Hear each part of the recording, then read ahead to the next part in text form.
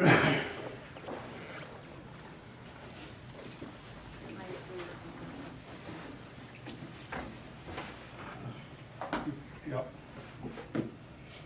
Let's go. If y'all would turn back to, uh, the first page of your handout, what I'd like to do now, Mr. Chairman, with uh, y'all's approval is go page by page and y'all tell me if there is a change you want to make or a proposal that you want to put before the board for discussion of a change or an amendment. And, uh,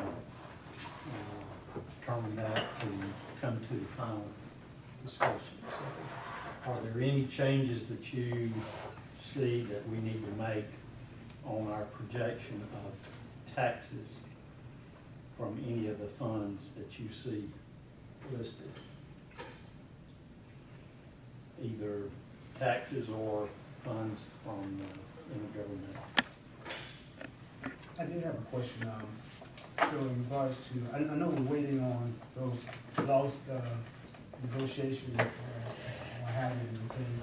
Uh, any word on it, or? Uh, I do not have, uh, any additional information on that as far as, uh, any changes. Um, I think the judge, we have a new judge that has been appointed, and, um, we have not got a particular date for the hearing, as I understand it.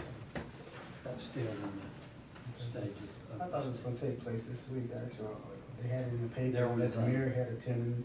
There was a uh, case before the Supreme Court yesterday that related to Turner County, and uh, there are some similarities in uh, the arguments in Turner County as to Lowndes County, but that could be thirty days prior to a decision by the Supreme Court. There was just some interest in that case because it was kind of, as Mr. Pritchard said, it was, it had some similarities to our situation. Uh-huh.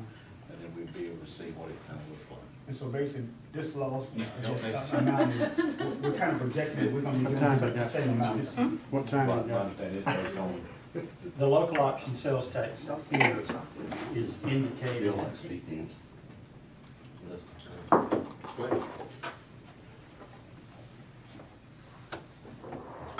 The line item indicated here, uh, Stephanie, if you would, uh, point on the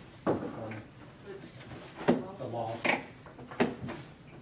This expectation, this uh, expectation is uh, the fact that we have continued to experience a loss in this uh, revenue. And so we are uh, anticipating that it will go back to similar to 2011 as opposed to a continued increase.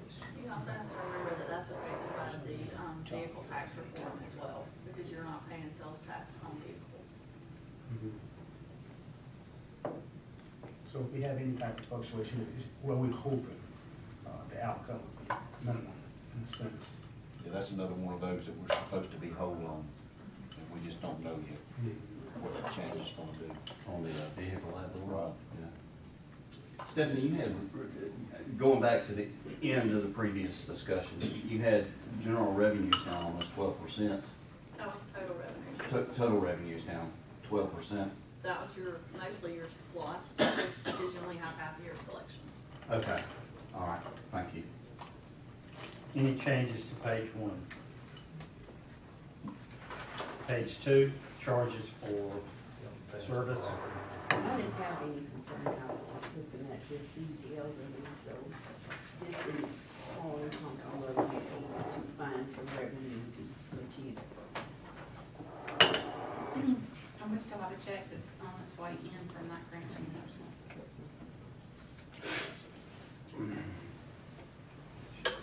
Any other changes to the charges for service or the fines and forfeiture or investment income projections?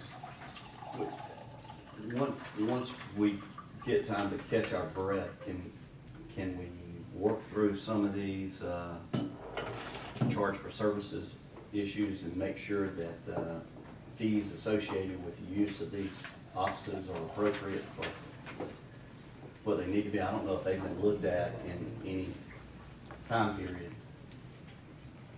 Or if it's, you know, we can work with some of the uh, other officers to look at their fees. I do have a proposal from the fire department related to customary charges, customary in the sense that other fire departments assess those charges. Uh, But we have not implemented those here. So that will, that's one that will be, we'll look at through the coming year, and I'm not sure at what time we would make a recommendation. Probably would be mid-year at best. Before we make an decision for those. We've also looked at whether or not the fees need to be increased.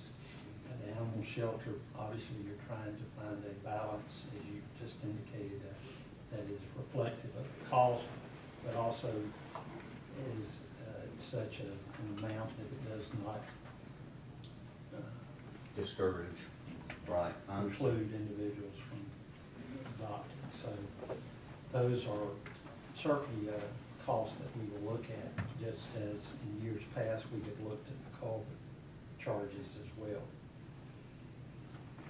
Can we look at, uh, uh, clerk of court? Of course, we were, we were looking at what we were requesting initially, seven hundred thousand, of course, we're working with six hundred thousand. Um, and we'd approved seven last year, and forgot it right, seven hundred thousand.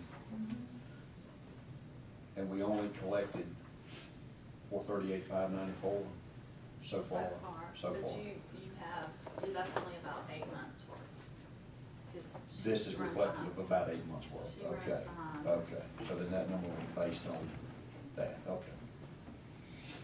Stephanie, that would be uh, helpful if you make a notation when you do year-to-date on current year, if you let us know what month you captured that information in. Well, the, the information is all captured as of the same date, but those constitutional officers and elected officials that turn money over to you, some of them lag behind more than others.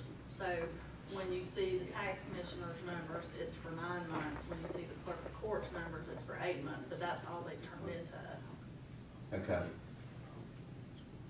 Because I was trying to come up with an average on a twelve-month period last, last night when I was going through this, and I got to thinking, I said, I, I don't know what date this information was captured. This all is as of this week. Well, this is, but the one I was working with, I wasn't sure when it was captured, so I, I couldn't, I couldn't guesstimate, Mhm. you know, monthly averages. Right. And, and because there's such a variance in there with who's turned in money and who hasn't. so- Okay. Okay. I noticed we